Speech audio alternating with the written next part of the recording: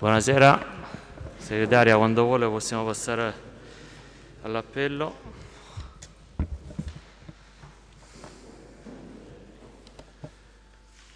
Mello Vito Pietro, Presente, Della Bona Gianni, Quarto Ronzo, Dell'Anna Pietro Angela, Fortunato Paolo, Svedicato Francesco Salvatore, De Carlo Graziana, Gentile Ivan, Melio Ronzo, De Leo Cosimo, Pirin Vito Massimo, Guido Remo, Cafaro Paola. Presenti tutti e c'è anche l'assessore, esterno Rizzo Federica.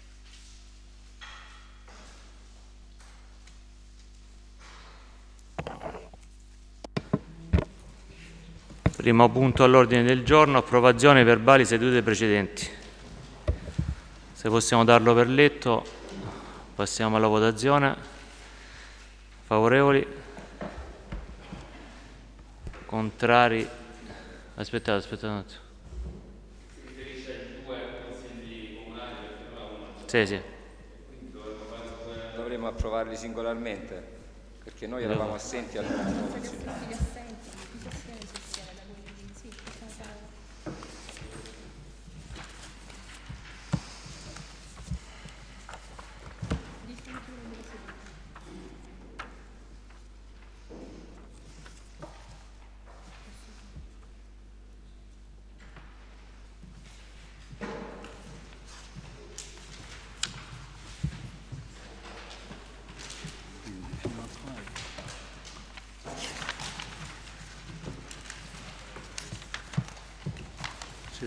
seduta del 10, la seduta precedente è del 100. Ok.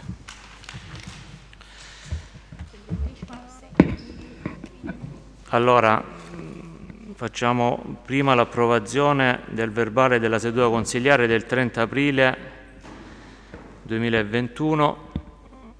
Favorevoli?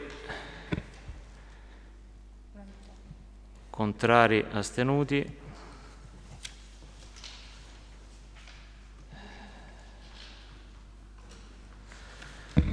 Poi passiamo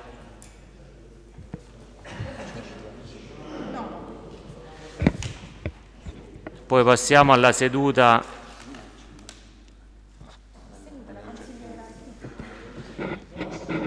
Non c'era proprio, non c'era proprio.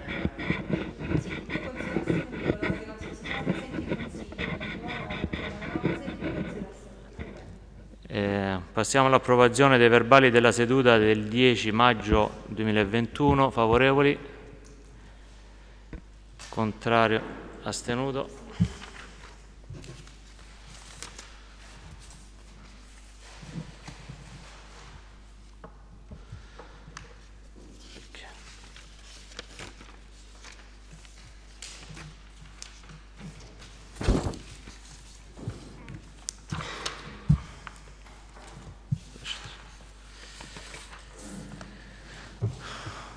Ci sono comunicazioni del sindaco. Passiamo al terzo punto dell'ordine del giorno. Rendiconto gestione esercizio finanziario 2020.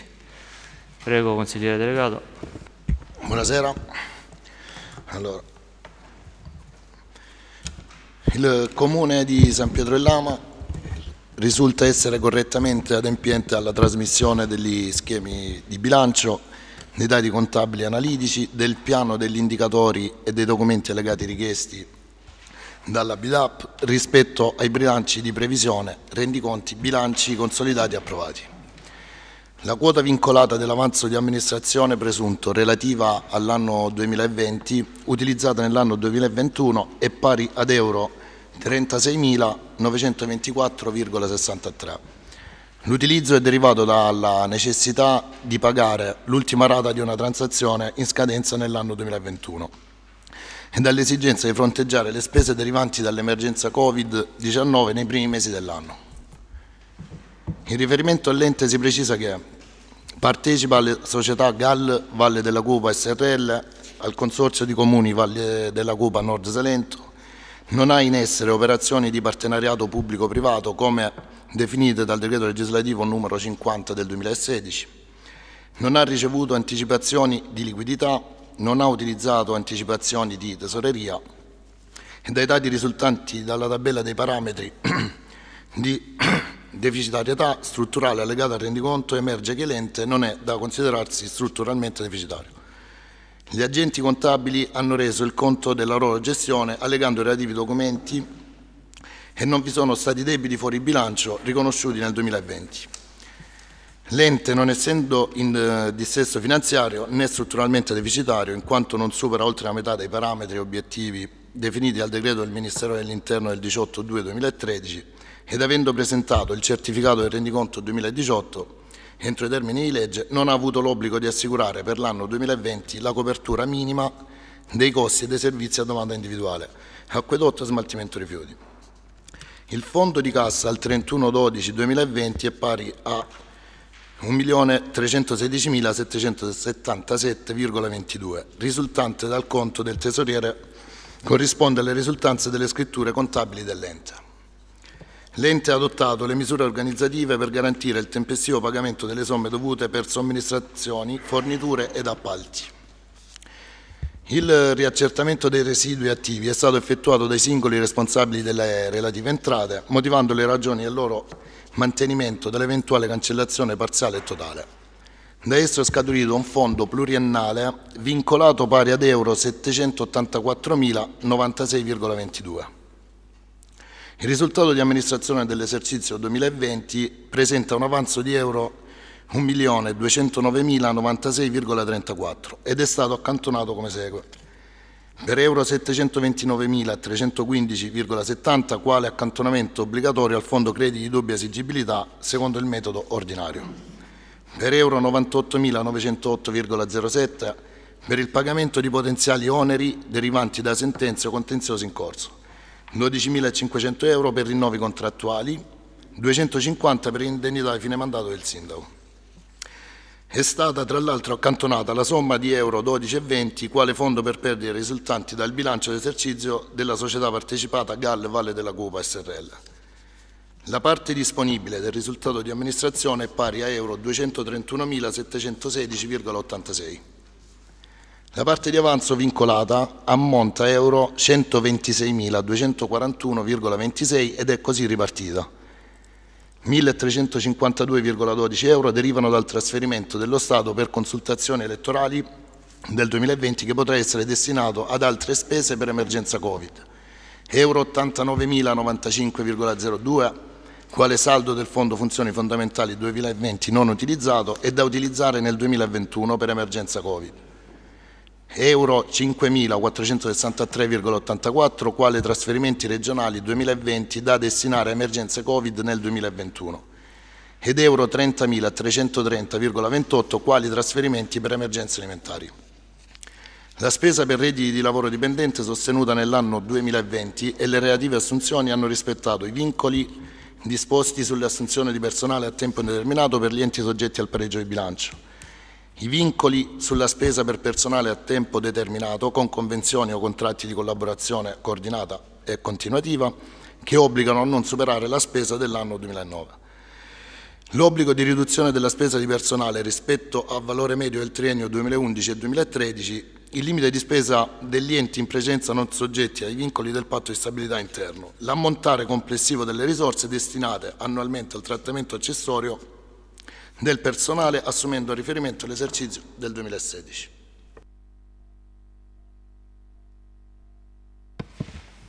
Prego se ci sono interventi. Prego. Buonasera. Questo consultivo è figlio del bilancio dell'anno scorso, un bilancio che il nostro gruppo eh, votò esclusivamente per senso di responsabilità, non condividendo né il metodo e né la forma di questo bilancio, di questo, del bilancio. Oggi che cosa emerge da questo consultivo? Un aumento di circa 112 mila euro rispetto al consultivo dell'anno precedente. L'altro elemento che è degno di nota, almeno per quanto ci riguarda, è la parte vincolata, la parte vincolata riguardante il Covid, augurandoci che queste somme, al contrario di quello che è stato fatto fino adesso, vengano veramente destinate alle persone che ne hanno bisogno e non in modo a dir poco clientelare come è stato fatto fino adesso.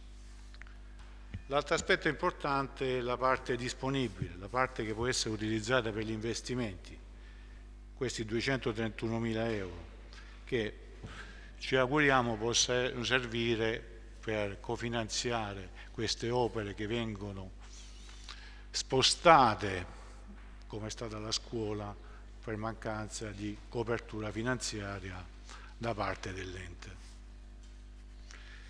Per questo, poi lo diremo nel, nella dichiarazione di voto, questo è il mio intervento. Grazie.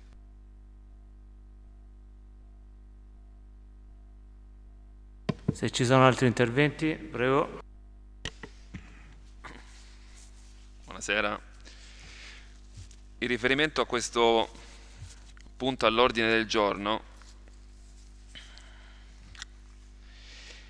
avevamo la necessità di chiarire un dubbio inerente all'aggiornamento del prospetto A2, quello che ci è stato segnalato l'11 maggio, in seguito alla delibera di giunta 86 del 10 maggio, dal, dall'oggetto schema del rendiconto di gestione anno 2020 aggiornamento prospetto risorse vincolate. Facciamo un passo indietro. Solitamente l'approvazione in bilancio del rendiconto di gestione dell'esercizio finanziario ha termine il 30 aprile. Quest'anno per via del decreto del 29 aprile c'è stata la proroga al 31 maggio, un decreto però ufficiale del 29 aprile. Io leggo che con delibera di giunta 82 del 15 aprile, quindi a 15 giorni da quella che era la solita scadenza, è stata approvata la relazione sulla gestione per l'anno 2020 ai sensi dell'articolo 151,6 del decreto legislativo 267 del 2000 e lo schema di rendiconto con i relativi allegati da mettere a disposizione del revisore dei conti e del Consiglio, in ottemperanza alla disciplina vigente in materia. Poi leggo, visto che il 31 maggio, visto che il termine di approvazione è stato prorogato al 31 maggio, e arrivo a leggere sempre nella delibera di giunta, considerato che è necessario iscrivere tra le risorse vincolate del risultato di amministrazione anche le somme non utilizzate del Fondo per le funzioni fondamentali, ex articolo 106 decreto legge 34 2020. Quindi io mi chiedevo, insieme all'amico Vito, come mai una delibera di giunta del 15 aprile contenesse già degli atti che poi ufficialmente sono stati modificati il 10 maggio. Sono stati resi noti a tutti i consiglieri l'11 maggio e stiamo discutendo oggi il rendiconto con un aspetto fondamentale che è quello che è stato aggiornato un prospetto, che è un qualcosa che non ho sentito citare dal delegato Fortunato.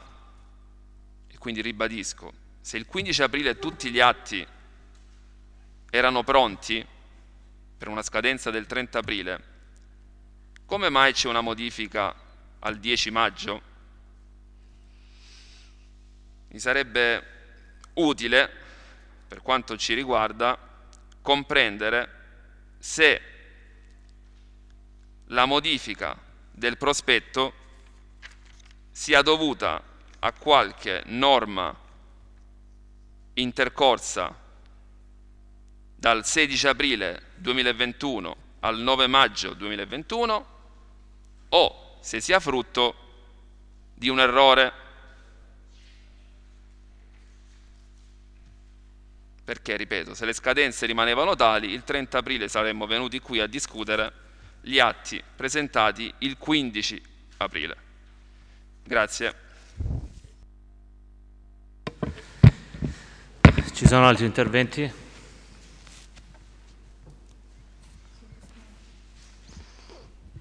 Prego, consigliere Fortunato. Sì, per rispondere diciamo, alla differenza della delibera 82 di giunta eh, rispetto all'86 per il prospetto, allora praticamente al primo prospetto presentato c'è, stata successivamente la certificazione del fondo funzioni fondamentali definitivo e da lì ci sono stati i, inseriti vincoli che sono passati la parte vincolata da 117 a 126.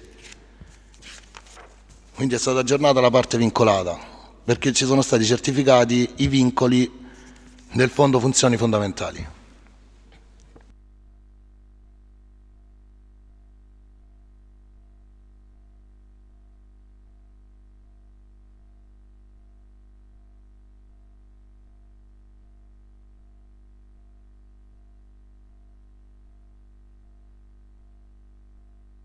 Ci sono altri interventi? Dopo, dopo la dite.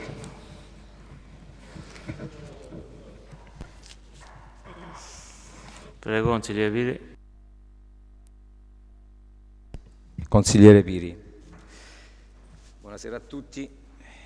Intanto, visto che nell'ultimo consiglio eravamo assenti, colgo l'occasione sia a mio nome che a nome del consigliere Guido ovviamente di augurare buon lavoro alla neoconsigliera Paola Cafaro che siamo certi saprà dare un importante contributo alla nostra comunità e al tempo stesso rivolgere un saluto affettuoso a chi non c'è più, quindi all'amico Gianluca Delia. Detto questo, passiamo senza uh, inutili perdite di tempo chiedere un chiarimento. Il 29 aprile veniva approvato il decreto legge dal Consiglio dei Ministri che eh, praticamente vedeva mh, disciplinate le disposizioni urgenti in materia di termini legislativi, per cui noi abbiamo rimandato la scadenza originaria del 30 aprile al 31 maggio. Allora la domanda è se noi fossimo venuti in Consiglio Comunale e avessimo approvato, questa è una domanda che vi faccio, così come stava diciamo così, predisposto l'atto deliberativo, quello del 15-4-2021 con la deliberazione numero 82. Poi cosa sarebbe successo? È chiaro che va uh, sostanzialmente ravvisata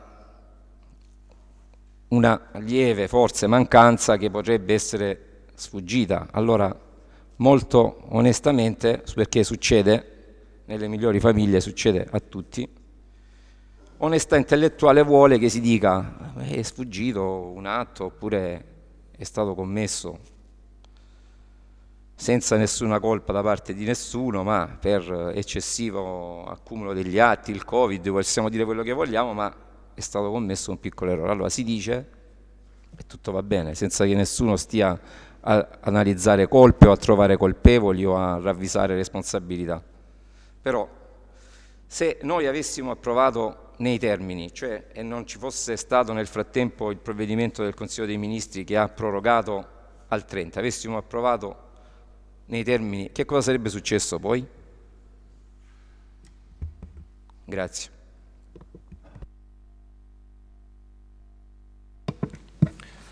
Se ci sono altri interventi.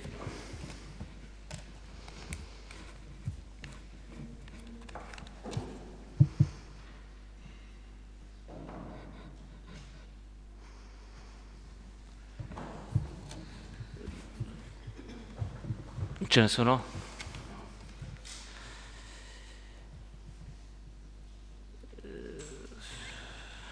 Vabbè, parto dall'ultima, che diciamo si sarebbe ritornati in consiglio per, per approvare il prospetto.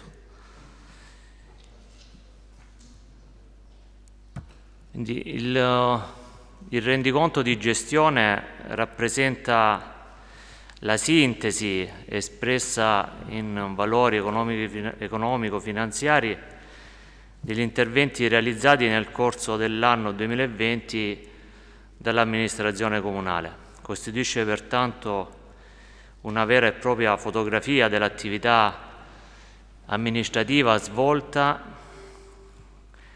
attribuibile eh, solo per una porzione temporale all'attuale amministrazione.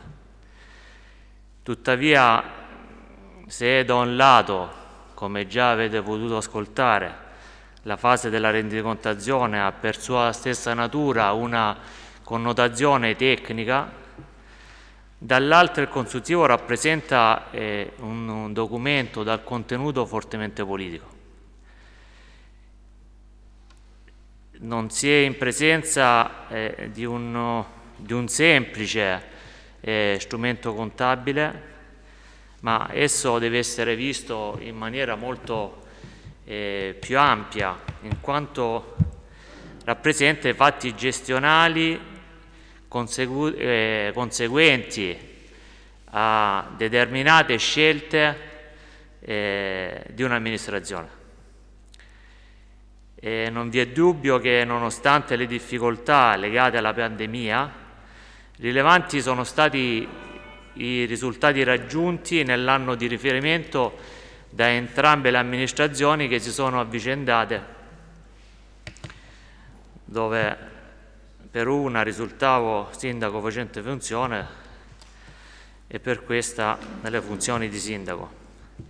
Risultati che sono evidenti sotto gli occhi di tutti, dai lavori pubblici agli interventi di natura socio-assistenziale, volti a non lasciare nessuno indietro in un momento storico di per sé così delicato. Mi sia consentito per questo porgere sia come facente, sindaco facente funzione e come sindaco oggi un ringraziamento particolare agli uffici per la loro fattiva collaborazione e per l'ottimo lavoro svolto. Il comune di San Pirrellamo può vantare una situazione economico-finanziaria complessivamente sana, così come annunciava prima il consigliere Fortunato, un risultato che non è scontato né di poco conto. Si è lavorato sodo, effettuando un'approfondita analisi di bilancio, entrando nel merito di ogni singolo capitolo di entrata e di spesa. La gestione finanziaria si è svolta in conformità ai principi e alle regole previste in materia di finanza locale come attestato dallo stesso organo di revisione che ha espresso eh, parere favorevole all'approvazione del presente rendiconto. Un esercizio finanziario che si chiude, come poc'anzi detto, al consigliere delegato con un avanzo di amministrazione della quale una quota parte o una quota verrà utilizzato come già attestato nel piano delle opere pubbliche per cofinanziare la realizzazione della nuova scuola elementare. Un bilancio dunque complessivamente ben gestito e quindi questo è un conto consuntivo che ritengo pertanto non, non possa non meritare il voto favorevole di questo Consiglio Comunale. Se ci sono dichiarazioni di voto,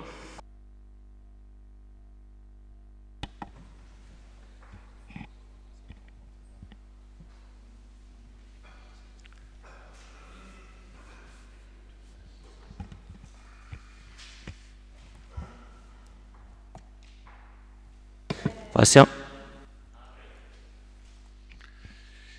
Per dichiarazione di voto. Beh, dopo aver sentito questo intervento del sindaco, sono sempre più convinto al voto contrario. Voto contrario perché? Per, proprio per quello che, che ha enunciato il sindaco, non lasciare nessuno indietro, e poi si, si mettono fondi dove non devono essere messi. Si cerca di, una, di allargare la platea. Si parla di buona, buona amministrazione, ma c'è un avanzo di amministrazione maggiore rispetto all'anno scorso. Questo che cosa significa? Che non si è operato bene, perché sappiamo benissimo che se aumenta l'avanzo di amministrazione è stato gestito male la spesa. In parte possiamo dire anche che sia dovuta alla pandemia, va bene.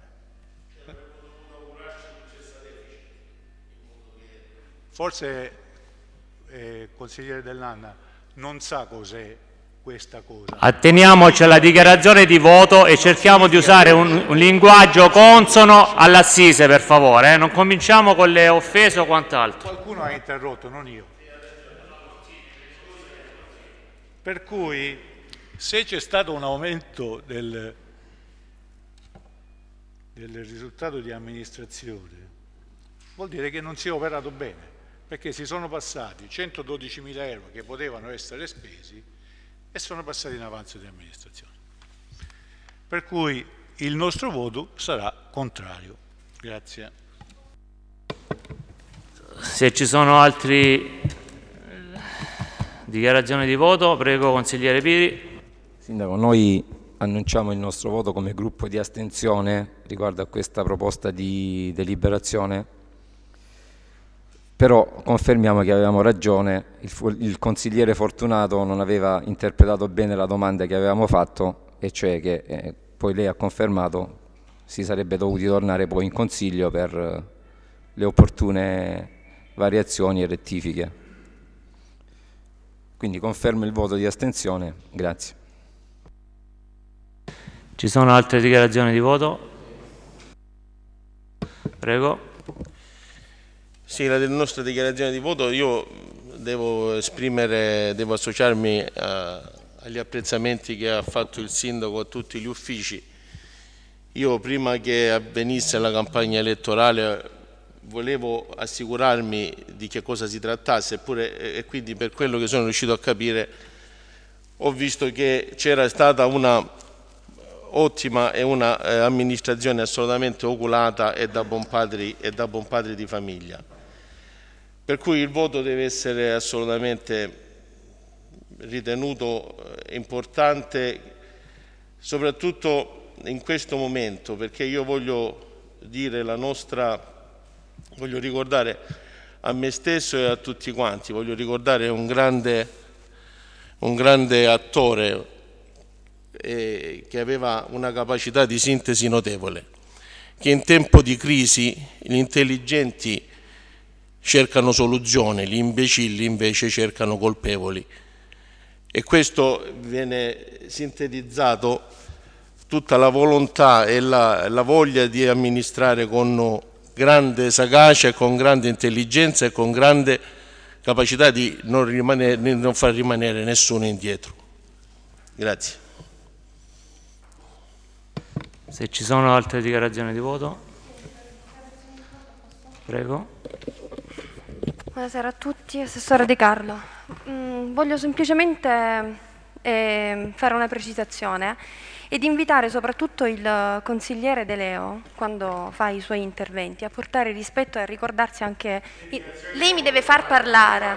Lei mi deve far parlare. Prego, prego, prego, consigliere. Sta facendo una dichiarazione di voto. Allora, non io, disturbi io, come è stato disturbato lei. Io non sto rispondendo, io sto rispondendo all'affermazione che lei ha fatto in quest'Aula poco fa quando ha parlato di gestione clientelare. D'accordo?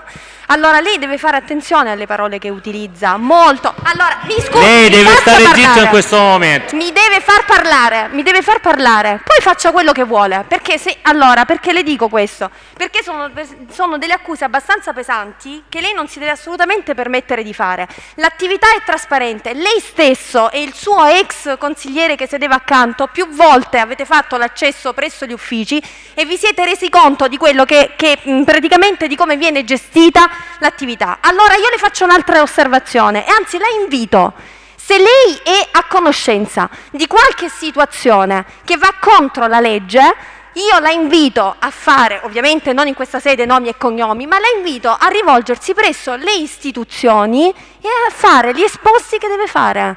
Perché questa amministrazione, ma penso tutto il Consiglio, è sempre per il rispetto della legge e qui non si fanno favoritismi. Lei sa cosa significa gestione clientelare? Lei sa che cosa significa? Forse sì, perché è un termine che probabilmente è sempre così comune. D'accordo? Allora, quello che chiedo è il rispetto. Non si fanno insinuazioni. Se ha delle certezze, se ha dei fatti, lei parla, d'accordo? E parlerà nelle sedi preposte. Però io non permetto, e parlo a nome di tutto il Consiglio, ovviamente, che, che anche rappresento, visto e considerata l'attività trasparente di questa amministrazione, gli accessi ripetuti che lei fa anche presso il mio stesso assessorato, presso l'ufficio che io anche voglio dire, eh, rappresento, non si può permettere di fare un'affermazione del genere, altrimenti queste affermazioni devono essere seguite dai fatti concreti. Allora, so, per favore, per questa favore. era una precisazione che ci tengo a fare, perché lei ha sempre l'abitudine, pensa sempre di stare probabilmente in campagna elettorale, ma se ne dovrà fare pure una ragione, no? Di dove sta seduto probabilmente. Grazie. Io sono ovviamente favorevole, sì, mi scusi. Ovviamente concordo con quanto esposto, con la linea esposta dalla- dal sindaco e dalla- del consiglio che rappresento. Grazie. Se ci sono altre dichiarazioni di voto, se no passiamo alla votazione. Favorevoli? Contrari? Astenuti? Due. Per l'immediata eseguibilità? Favorevoli? Contrari? Astenuti?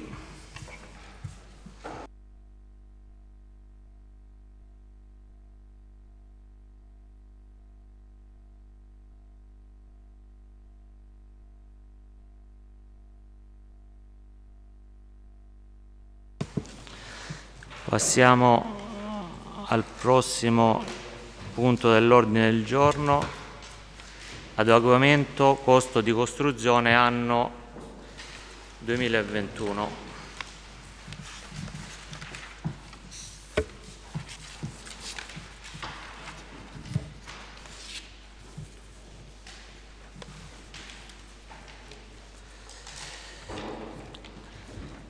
Quindi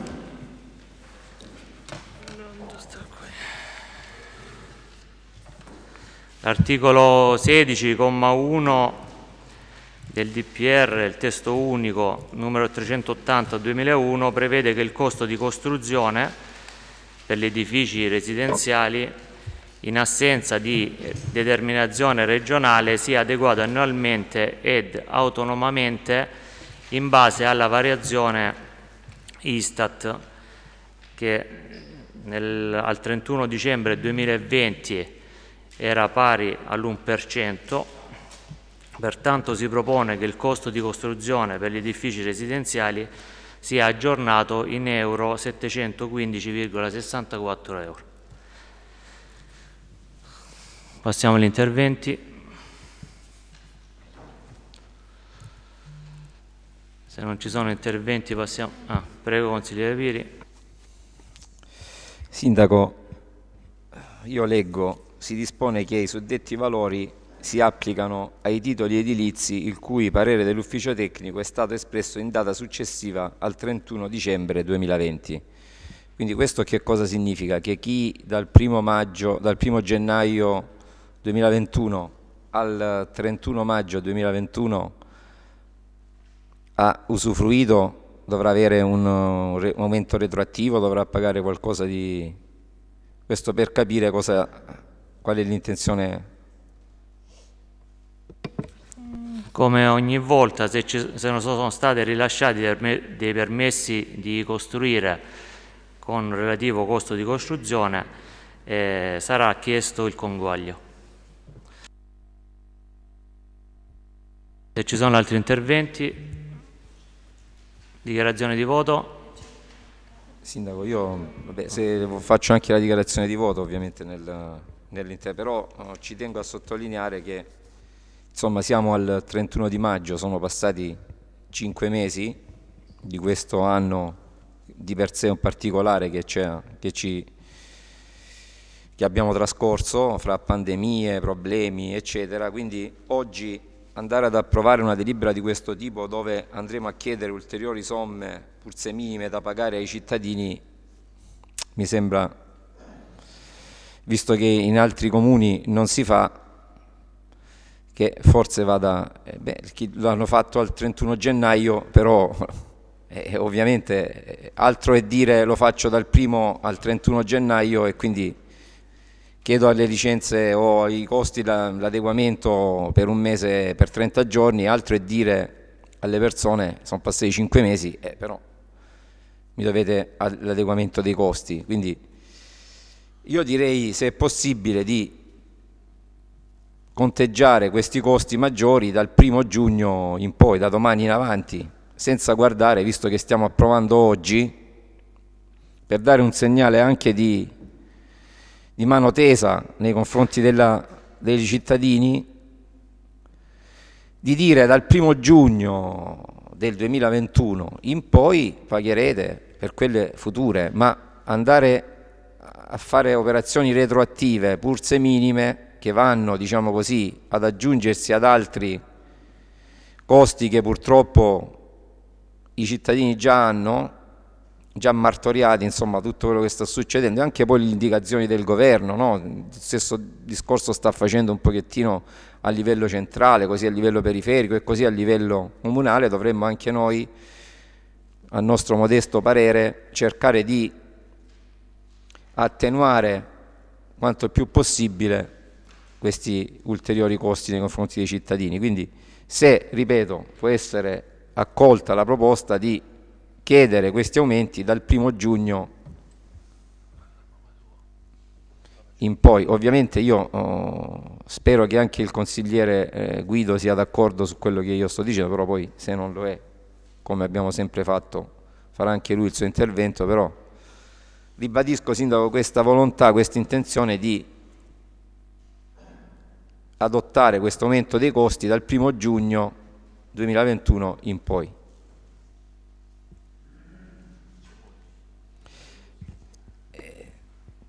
Il voto, il voto, ovviamente è in base a quello che saranno poi le decisioni che, che adotterete.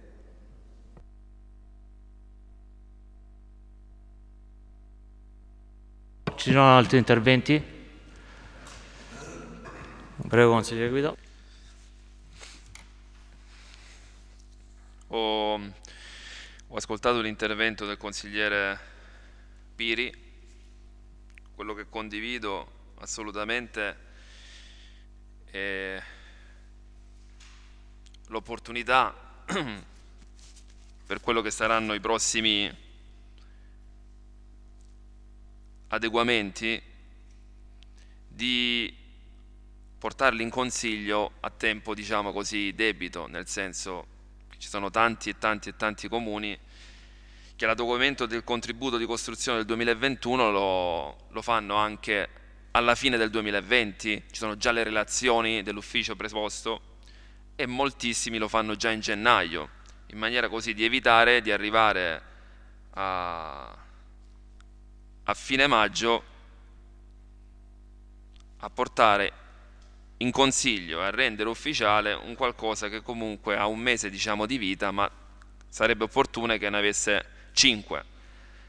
Anche perché fondamentalmente quello che io penso è che l'adeguamento del contributo di costruzione è legato alla variazione Istat, quindi se il valore è solo in base a un unico valore percentuale, un più, un per cento, 2, 0,5, un meno 0, un meno 1, quindi fondamentalmente questo tipo di, di relazione, questo tipo di punto all'ordine del giorno rispetto a tante altre argomenti che vengono trattati credo che sia uno dei più snelli, forse in assoluto il più snello, e quindi ribadisco che a parere mio sarebbe opportuno, sarà opportuno le prossime volte trovarci qui già a gennaio a votare l'adeguamento del contributo di costruzione. Se fosse nelle possibilità di quella che l'amministrazione, il ruolo consigliare, quello di prorogare questo conguaglio e far sì che venga solo da quando c'è l'atto ufficiale, condividerei questa, questa azione. Non posso quantificare perché obiettivamente non ho idea di quanti contributi di costruzione siano stati eh, erogati in questi cinque mesi. Non posso quindi fare un calcolo né, né tantomeno qualcosa che, che mi compete fondamentalmente per sapere quali sono le cifre. Però diciamo in via di principio sarebbe carino questo, quindi queste due, secondo me, opportunità. Grazie.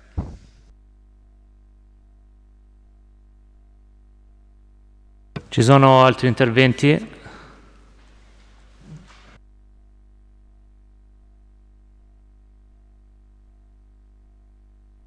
Solo a conferma, eh, perché adesso non lo leggo nel deliberato, comunque vorrei chiedere conferma se è stata allegata la relazione dell'ufficio tecnico. Ok, allora come eh, previsto, diciamo come descritto già nella relazione eh, del, del responsabile dell'ufficio tecnico, in data 21-4-2021 è pervenuta la certificazione da parte dell'Istat della, eh, della, variazione, quindi dell'indice eh, Istat.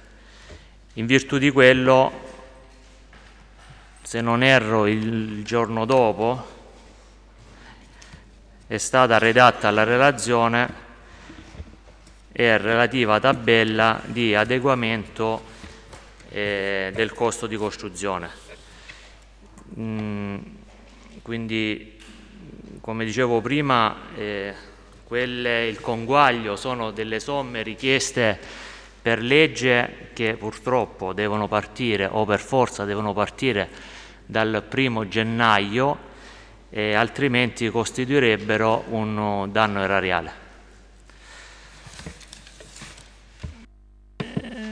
Se ci sono dichiarazioni di voto, io passerei alla votazione. Ah.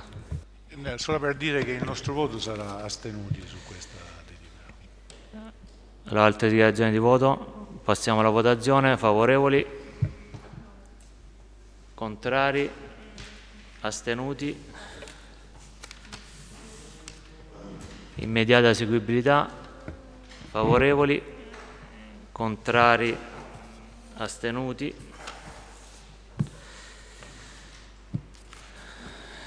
quindi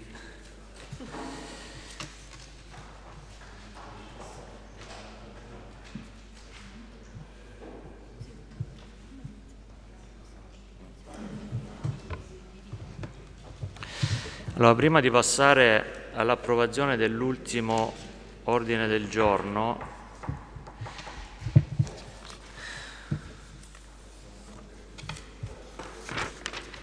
riguardante la nomina del componente supplente della Commissione elettorale comunale, a seguito di un approfondimento tecnico e presa visione della circolare del Ministero dell'Interno numero 2006 del 1 febbraio 1986, paragrafo 11, istruzione per la disciplina dell'elettorato attivo e, e la tenuta e la revisione delle liste elettorali, Dietro sollecitazione dell'ufficio proponente si ritiene opportuno procedere alla rinuncia del presente punto dell'ordine del giorno. Nella citata circolare è chiaramente esclusa la possibilità di procedere ad elezioni parziali per la sostituzione dei componenti effettivi e supplenti venuti a mancare per qualsiasi motivo durante il periodo in carica della Commissione stessa. Tale divieto di sostituzione si estende anche al componente che rappresenta la minoranza eh, consigliare. Ciò inoltre è stato confermato dalla sentenza del Consiglio di Stato nell'adunanza generale del 31 agosto 1967 con parere 969.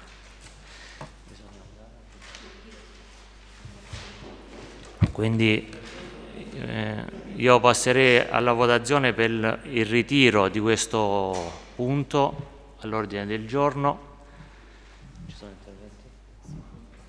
Se volete posso, potete fare qualche intervento, altrimenti passerei direttamente alla votazione.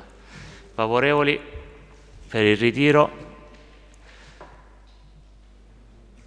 Contrari? Aspettiamo un attimo.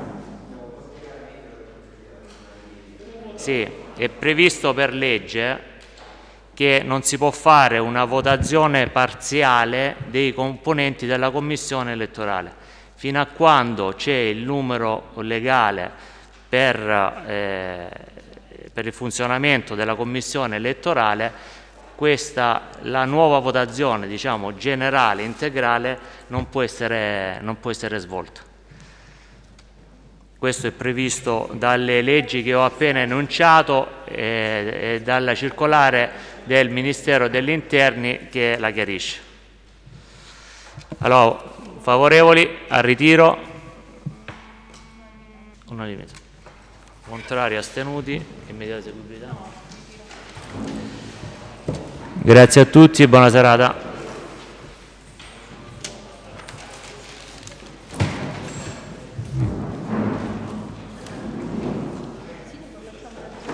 Sì, sì, sì. Scusami, ma io non ce l'ho